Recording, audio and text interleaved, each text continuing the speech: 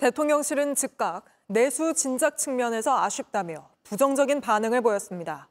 금리 결정은 한국은행의 독립적인 권한인 만큼 이례적인 일입니다. 사실상 금리를 내리라는 대통령실의 압박이 최근 정부가 내놨던 집값 잡지 정, 정책들과는 또 배치된다는 지적도 나옵니다. 이어서 정혜성 기자입니다. 한국은행 금통위가 금리를 동결하자마자 대통령실이 이례적으로 불만을 드러냈습니다.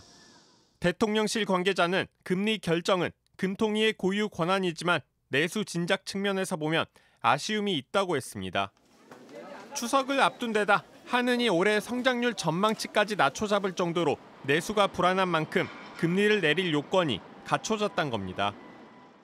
윤상현 국민의힘 의원도 소셜미디어에 경기 침체와 내수 진작에 대응해야 할 한은이 지나치게 위축됐다며 대단히 유감이라고 썼습니다.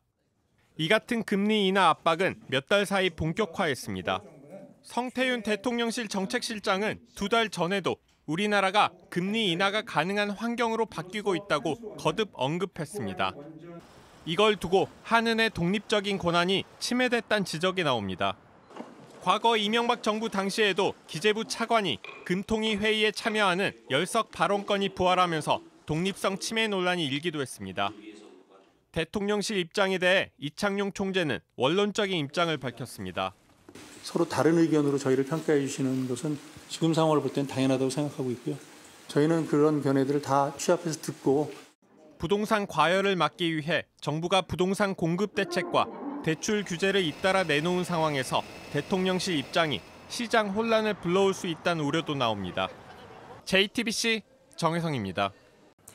JTBC 뉴스를 시청해 주셔서 고맙습니다. 저희는 저녁 6시 50분 뉴스룸에서 뵙겠습니다.